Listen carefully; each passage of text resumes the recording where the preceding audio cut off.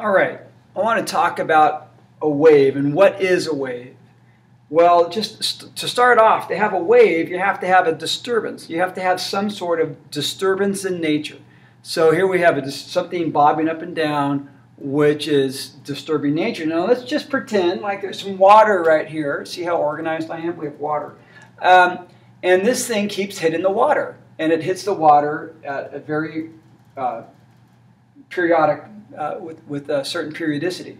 Right? It goes down, boing, boing, boing, and every time it hits the water, it creates ripples. And so the frequency of this bobbing mass on a spring is going to be the same as the frequency of the water waves that are going to go away from the source of disturbance due to, um, due to this disturbance. A wave is that energy as it moves away from the disturbance. So the the water is being disturbed, and, the, and every single time the water is disturbed, that energy passes through the water away from the disturbance. The water itself doesn't go very far. The water particles, the water molecules are going to go more or less up and down. They actually go in a bit of a circle uh, as the wave progresses away from it in ripples. The, the, the wave itself is the energy that produces that. Okay, so basic anatomy of a wave. Let's dry up the water there. Let's say we have a really smooth sine wave. Imagine this if you can. Um, so, again, this is going up and down. What if I were to walk along as I did that what that would produce, if say I had a marker attached to that mass as the marker as I walked along, the marker would produce a nice sinusoidal wave. It would look something like this.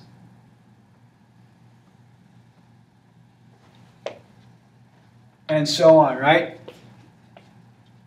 So that's your basic sine wave. Here's some terminology. The top of the wave is called a crest. Crest here, a crest there. The bottom of the wave is called the wave trough. This black horizontal line rep represents the uh, equilibrium position.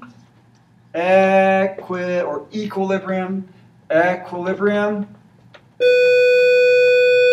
That's the bell. So that's the equilibrium position. If you can imagine over time, uh, if this is a water wave, for example, it's going to dampen, the amplitude is going to decrease, and over time it's going to become just glassy calm, and that would be its equilibrium position. Then it requires some disturbance in the water, and then the wave starts doing that again. So that brings me to the next thing. That is the amplitude. So the amplitude, we use a letter A for that. That would be negative A because it's below equilibrium. Amplitude, A. Normally measured in meters and SI units.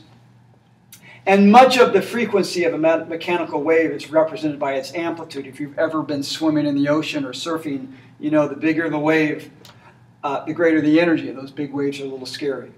Uh, so they, a lot of the, the energy is represented here in this amplitude. Amplitude represents the maximum displacement of a wave. It equal, uh, sorry, the maximum displacement of the medium, the particles in the wave. Maximum displacement of the particles. If it's a water wave, the maximum displacement of the water. So let's think of a rope. Say you have a rope and you're going like that. Well, this is the rope going up and down. The rope doesn't have to be at that point. It might be like right here. So it's been displaced from equilibrium. So here's some displacement from equilibrium up that way. But it, so some x, some delta x, but it's not all the way at the highest point it's going to go. Amplitude's the highest or the lowest, right? And this would be zero along here, zero displacement. This would be the maximum displacement and amplitude. maximum negative displacement right there. So, a couple other things. When you measure from one point to a successive identical point on a wave, from one point to a successive identical point, they have to be successive and they have to be identical, then you get what's called the wavelength. Wavelength, which uses the Greek letter lambda. My Greek letter lambdas all look like upside down Y's. Do not use the letter L, use a lambda. Lambda for wavelength. So we have amplitude, wavelength. You also know that this wave is traveling. The wave is moving through something. We are studying what are called mechanical waves. We'll talk about elect electromagnetic waves later, although they also have many of the same properties, in fact, most of the same properties. But this wave, such as an ocean wave or a wave on a string as you're going up and down, it's moving with some speed. All right? It's moving with speed v. So the wave speed v, let's say that the wave is moving that way. So as you stand here, the wave's going along. You see the crest moving along and so forth. A couple other characteristics. If I were to stand here and count wave crests, let's say uh, the waves are going fairly quickly, and I count in one second one, one, two, three, four. Four waves pass me in one second. That would be a frequency, that would be a wave frequency of four waves per second, four cycles per second, four hertz. So the number of waves that pass by per second in SI units is the wave frequency.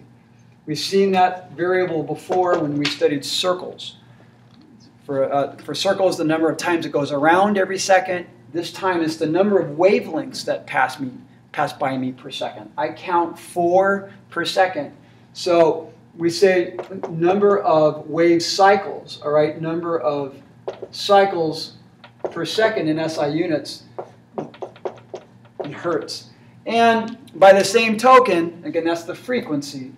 And by the same token, if four pass, me, pass by me per second, then how long does it take one wave length to pass by? Well, it would be the reciprocal of that. It would be a quarter of a second. If four pass by in one second, then one of them pass by is in a quarter of a second. And that would be the period of the wave. T, all right, that's the time for one, that's the time for one cycle, all right, in this case per one wavelength. And then the last part of this is this classic wave equation that relates um, frequency or period and wave speed and wavelength. Well, assuming that the wave is traveling at constant speed, then you know that speed is distance over time. And we can actually use that equation. If the wave travels 12 meters in three, in three seconds, it's traveling 12 over 3 or 4 meters per second. But frequently we don't know that. Frequently, no pun intended. Actually, the pun was intended.